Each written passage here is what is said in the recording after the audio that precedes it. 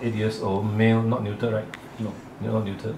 Now you can see there was a, in April, that means about uh, how many months? About seven months ago, there was a swelling. So Dr. Daniel has operated and uh, released the bleeding.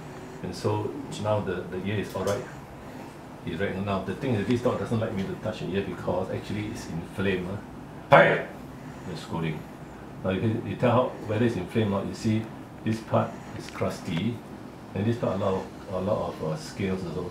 So the dog has been scratching and uh, of course he doesn't like people to, his owner to, to, to put further in because it's painful and but he's, he's uh, frightened of me so he's tolerate me.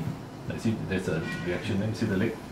The leg. Uh, it shows that it's itchy. Uh. I get a good cotton bud so that it won't drop off and put at least five drops in and massage that. But in the meantime, put a piece of cloth and then uh, use the antifungal wash to wash this one so that so that uh, some of these cases uh, they look like fungus you see? Two actually uh, and otherwise hematoma will come back. Now you see this side now compared to this year it's, it's, it's not so bad but it still has some scratching here.